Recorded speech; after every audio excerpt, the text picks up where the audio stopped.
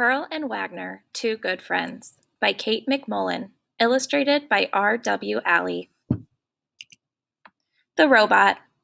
Everyone in Miss Starr's class was talking about the science fair. I am going to make a robot, said Pearl. I am going to win a prize, said Wagner. Pearl got to work. She taped up the flaps of a great big box. She cut a hole in the top. Then she cut a hole in the lid of a shoebox. She glued the shoebox lid to the top of the great big box. Wagner held the boxes together while the glue dried. Maybe I will make a walkie talkie, he said. Pearl punched a hole in one end of the shoebox. She stuck string through the hole. She tied the string in a knot. Maybe I will make a brain out of clay, said Wagner. Cool, said Pearl. She drew eyes and a nose on the shoebox. Wagner looked at the shoebox. The eyes are too small, he said. Pearl made the eyes bigger. Maybe I will make a rocket, said Wagner. Vroom! Blast off! Pearl put the shoebox onto the lid. There, she said. Finished! Pearl pulled the string. The robot's mouth opened. She threw in a wad of paper. Then she let go of the string. The robot's mouth shut. Wow, said Wagner. A trash eating robot. Let's see what everyone has made, said Miss Starr.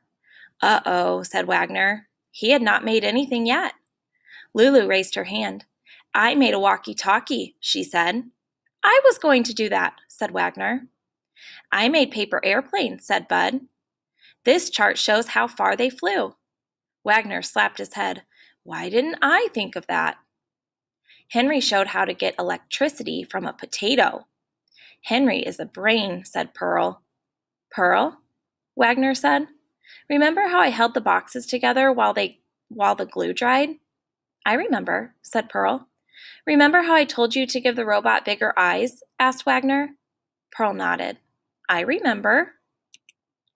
Your turn, Pearl, said Miss Starr.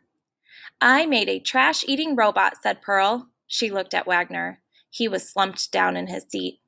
Wagner and I made it together, said Pearl. Wagner sat sat right up again. Pearl pulled the robot's string. She pulled too hard. The robot's head fell off. Uh oh, said Wagner. I guess you two friends have more work to do, said Miss Starr. I guess so, said Pearl. But I don't mind because Wagner and I will do all of the work together. Uh oh, said Wagner. The Science Fair. On Science Fair Day, Pearl and Wagner were still working on their robot. Pearl stretched rubber bands. She held them tight. Wagner stapled them onto the shoebox and the lid. That should do it, he said. Pearl and Wagner hurried to the gym with their robot. They passed a boy with an ant village. They passed a girl playing music for plants. They passed Henry. He had his electric potato hooked up to a tiny Ferris wheel. Pearl and Wagner set up their robot. A judge came over. Watch this, said Pearl. Pearl pulled the robot's string. Nothing happened. She pulled harder. The robot's mouth popped open. The rubber bands flew everywhere. Yikes, said the judge. Oh no, said Wagner. There goes our prize. We are not quite ready, Pearl told the judge. I will come back in five minutes, said the judge. I have more rubber bands in my desk, said Pearl. She raced off to get them. Wagner tapped his foot. He bit his nails. Pearl was taking forever.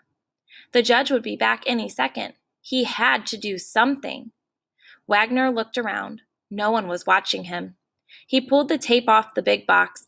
He opened the back of the robot and slipped inside. The judge came back. She did not see Pearl and Wagner. She started to leave. Wait, said the robot. Oh, my stars, said the judge. A talking robot? Just then, Pearl came back. You have a nice smile, the robot was telling the judge, and such pretty eyes. Do you think so? said the judge.